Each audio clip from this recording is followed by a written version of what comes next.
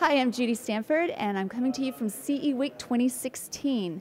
And today I've got members that were here for a panel on drones, and I'm going to ask each of you to introduce yourselves, tell us about your company, and um, maybe a quick word about the products that you have, and then we're going to start asking a couple questions. Hi, I'm Sydney Wiseman from WowWee Toys.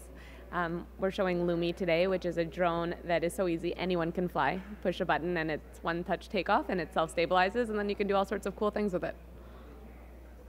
Hey, I'm Michael Irigoyen with Odyssey Toys, and today I'll be showing you the Pocket Drone. And uh, we'll get to that, and I'll take it out and I'll assemble it and show you how it works. Hi, my name is Chris Blower, and I'm with Queen B Robotics, and we specialize in VR video capture for drones.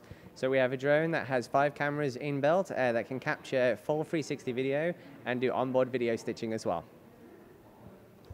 So I'm Dan Rowe. I'm from Drone Volt. Uh, we make uh, service drones, which are drones that are purposely built for a task. Uh, it can be cinematography, but it could also be surveillance or crop spraying.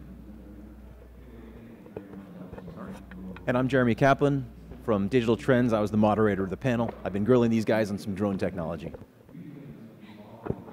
Thank you. So a question that I have for you all is, a lot of people think that drones are interesting, but there's just as many people who are like, why would I want a drone? So for that customer, what would you say? Um, I think we're a little bit of a different case. We're, we're selling to kids, so we're hoping that the word drone has become such a buzzword that every kid is going to want a drone for this Christmas. So we wanted to bring something that was accessible to kids so that there isn't that question. Every kid is like, oh my God, I need this drone because it's so cool and it's the cool thing to have. So I think in your case that's most likely true, but let's talk about adults then.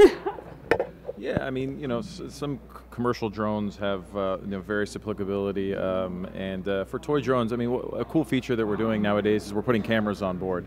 Uh, so for family events or, or, sporting events, you could you fly your drones out, you could snap some uh, some cool pictures of uh, whatever's going on, take some videos. So uh, there, there's certainly some applicability in the toy drone market for adults.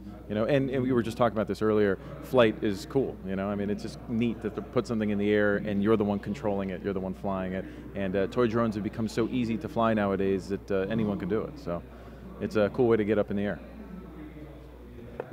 Uh, we certainly at uh, Queen B Robotics, because we work with VR, one of the key points is that uh, for drones, we see them more as a platform or a tool that can help you with your VR applications. Similar to that as a selfie stick, it's just a case of that some people love it, some people hate them.